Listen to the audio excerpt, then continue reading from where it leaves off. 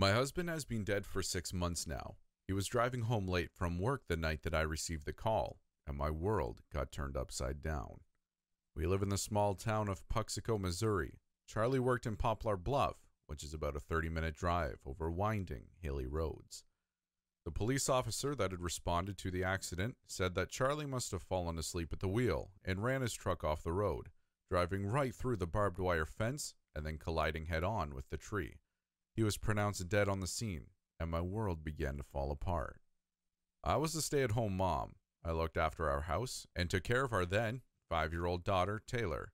Taylor and Charlie were a match made in heaven. From the day she was born, Taylor was stuck to her father like glue. They were inseparable. As she got older, the bond grew stronger. She never really wanted much to do with me. Charlie was her everything, and she was his. I had a very hard time trying to figure out how to explain this new change to Taylor. She kept asking the same questions. When is Daddy coming home? Do you think he's close? I miss him. And every time she'd ask, I would break down crying. Finally, I broke the news to her. Sweetie, I said, eyes starting to fill with tears again. Daddy's in heaven with the angels, but he will always be watching over you. Taylor just stared at me, no signs of emotion, no signs of comprehension on her face. Finally, unable to contain myself any more, I broke down. In between sobs, I said, Baby, I love you very much. It's okay to cry. But still, Taylor didn't say a word. She showed no emotion at all. I tried my best to explain to her about her dad, but she never seemed to grasp it. I still hear it in my head like it was yesterday. The last words she said to me Daddy would never leave me, she screamed, before running to her room and slamming the door. That was the last time I heard my baby girl speak. I took her to a psychiatrist two towns over in Sikeston, thinking that maybe he could finally help her to grieve normally, in a more healthy way. Miss Cowell, the doctor began, Taylor is just grieving in the only way she knows how. She has never experienced loss before. It's only natural for a child to respond this way. My recommendation is that you get her out of the house, just the two of you. Spend quality time together doing something that doesn't involve your loss. I honestly didn't know what to do with Taylor. Charlie was always the one who spent time with her. It wasn't that I didn't want to, it was just that I hadn't been given the opportunity to. Thank you, Doctor. I will figure something out. I smiled at the idea of doing something fun with Taylor. But what? I thought about it on the car ride home, but it wasn't until I walked through the front door that I saw it. On the refrigerator was a pamphlet that said Mingo National Wildlife Refuge on it. Of course, that was it. Charlie had been making plans to take Taylor on a hike through Mingo to see the wildlife. I yelled up the stairs excitedly to Taylor, Honey, come downstairs. Mommy wants to talk to you. I was smiling so big that she must have thought I was crazy as she came down the stairs into the kitchen. You and I are going to go hiking at Mingo tomorrow. How does that sound? I gushed, unable to control my excitement. Taylor just stood there, not making a sound. But before she walked back up the stairs, I swore I saw a partial smile cross her face. It was not the reaction I was hoping for, but it was a start. The rest of the night was usual. We had a good dinner. I gave Taylor a bath and told her we needed to get some sleep because we had a big day tomorrow. After tucking her into bed, I made my way back downstairs to pack us a lunch. I put sunscreen, bug spray, and a few non perishable snacks into an old backpack before making my way to bed. I barely slept that night. Sheer excitement and joy enveloped me. This was going to be the first time in a very long time that Taylor and I would get to do something fun, just us girls. I liked the sound of that, Eventually, sleep did come, and I awoke to my alarm screaming at me and sunlight shining on my face. I dressed Taylor and myself before gathering up all the things we would need for this hike. Taylor seemed a little more cheery that morning. She wasn't speaking still, but she just seemed a little more like her old self. On the car ride to Mingo, I tried to explain to her that she had to stay close to me and to watch out for snakes, as they were bound to be out and about. Once we entered into Mingo, I could see that there weren't any cars parked or hikers out yet. Not unusual, though. It was still early, I guessed. Taylor barely waited long enough for me to put the car into park before unbuckling her seatbelt and jumping out of the car. Hold on, Tay, I said lightly, happy to see her so animated.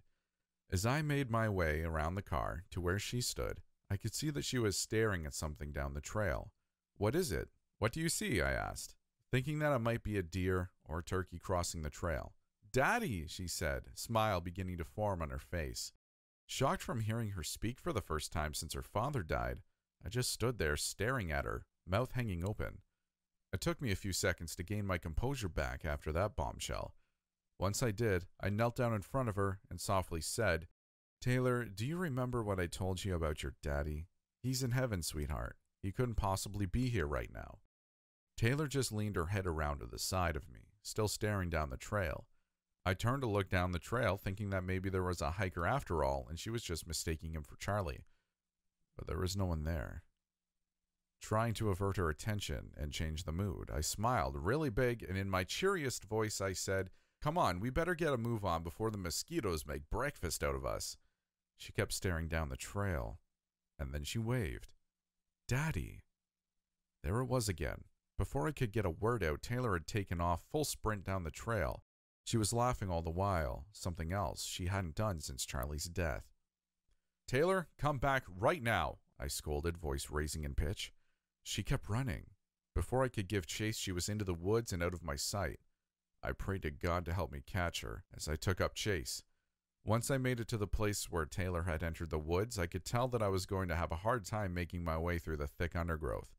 There were sharp briars everywhere. How had Taylor made it through all of this without being cut to pieces? I pushed my way through, feeling the little thorns poke and tear my skin. I called out her name loudly for what seemed like hours, pushing my way through the woods. My legs were cut to ribbons. Long cuts were visible on virtually every inch of my legs. Some were deeper than others. Blood starting to run down my legs. I couldn't stop. I had to find Taylor. After stopping for a minute to catch my breath and assess the cuts on my legs, I noticed that there was a clearing. It was only 25 yards away. I began to move toward the open area. Laying on the ground by a small sapling was the blue ribbon that I had tied in Taylor's hair this morning. There were a few small red dots on it, I noticed as I picked it up. Blood. It was Taylor's blood. I knew it had to be. Taylor! I screamed as loud as I possibly could, searching the surrounding area with my eyes. I got no response. I continued walking through the woods towards the clearing, but as I got closer, I could hear talking. It was Taylor's voice, coming through the small stand of trees that was in the very center of the clearing. Her words were inaudible, but I knew it was her. Taylor, you frighten me. Let's go, I said, walking closer toward the stand of trees. I was only a few yards away and a little irritated at this point when I heard her soft voice say, But, Daddy, I don't want to come into the trees.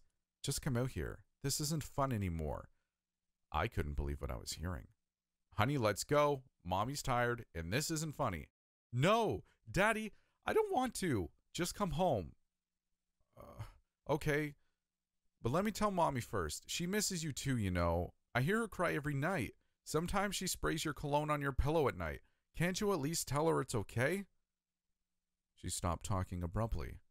By the time I made it to where her voice had been coming from, I looked around the little grove of trees, but I couldn't see her. I called out to her, but with no luck. I decided to push my way into the little stand of trees. Surely she was hiding in there.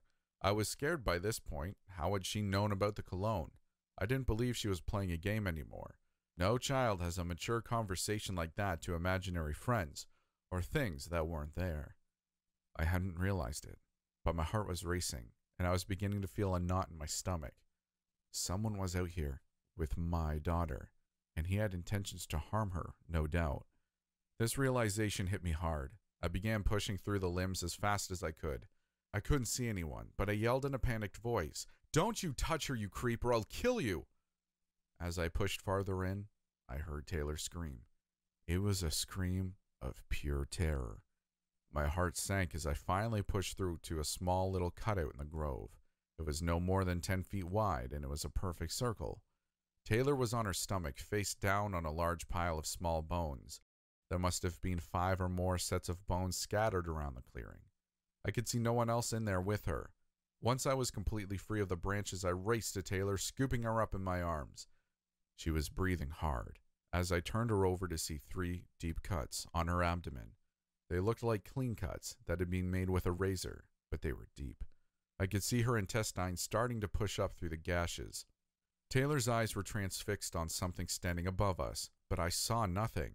I tried to put pressure on her stomach to stop the bleeding, but all it did was cause her to lurch up in pain, blood now running out of both sides of her mouth. I didn't know what to do. She took one long, ragged breath, raising her arm to point above me, and said, It's going to. She took another long, wet breath. Eat me. Frantic, I replied, half screaming, tears rolling down my face. What is, baby? What's going to eat you? The bear man. Can't you see him? He's right beside you. She managed to get out before another wave of pain rendered her speechless. Leave us alone! I screamed, still not seeing whatever it was that was hurting her, but feeling as if someone or something was in fact hovering above me. I held her for another few seconds before I watched as her chest was ripped apart by invisible claws, spewing her blood in every direction. She let out a loud, painful scream before going limp. I tried to throw myself over her, but it was no use. This thing was still able to continue shredding her now lifeless body to ribbons. I felt her leg get torn from her body. Pieces of her were being pulled from my grasp, and I could do nothing to stop it. Fear finally took the place of grief as her head was pulled from her neck. I quickly stood up, dropping the little bit of Taylor's torso that was left in my lap on the ground. I ran. I don't know how long I ran for before I made it back to the trail, but once I cleared the trees and onto the trail, I swear I heard a deep roar ring out from the direction I had just came from. Whether it was from shock, terror, or exhaustion, I passed out on the trail. I woke up in a hospital bed in Poplar Bluff. The police were waiting as well as a state game warden in the hall. They both came into my room after the doctor had checked to make sure that I was okay. They asked a lot of questions about how everything happened. Apparently, there was enough of Taylor's blood on my clothes that rubbed off on trees and bushes as I ran away from the bear man that they were able to follow the trail it had made back to the small grove in the clearing. I told them that it was a big bear and that there were bones of other people in the grove of trees as well. Miss Cowell, we searched the area.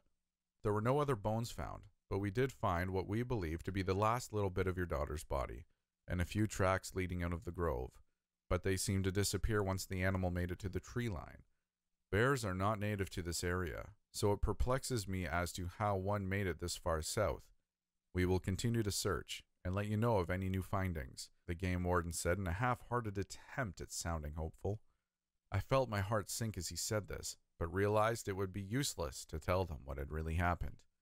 If I told them that a bear man had somehow lured my daughter into the woods, making her believe he was her daddy, and then killed her while I sat holding her in my arms, ripping her apart, and somehow she could see and hear him, but I couldn't, they would have locked me up and heavily medicated me. I remained silent. They let me go home after I was released from the hospital. Said they'd be in touch if anything were to come up. I haven't heard a word from the authorities since, and I know I never will. Thank you so much for watching the video. If you liked it, I'd love it if you'd shared it or give it a thumbs up. Let's let YouTube know that it's a good video and it should be watched. This Sunday, the 9th, I believe it is, at 2 p.m. Eastern, I'm going to be doing a live stream. It's going to consist of like an AMA or Ask Me Anything, reading some other stories, and generally just chilling around and, and having a good time. If you want to come and hang out, and ask me different questions or what have you, then I would encourage you to please show up. Otherwise, thank you again for watching. I hope you have a great day. We'll see you on Sunday. And if not on Sunday, in the next video, take care.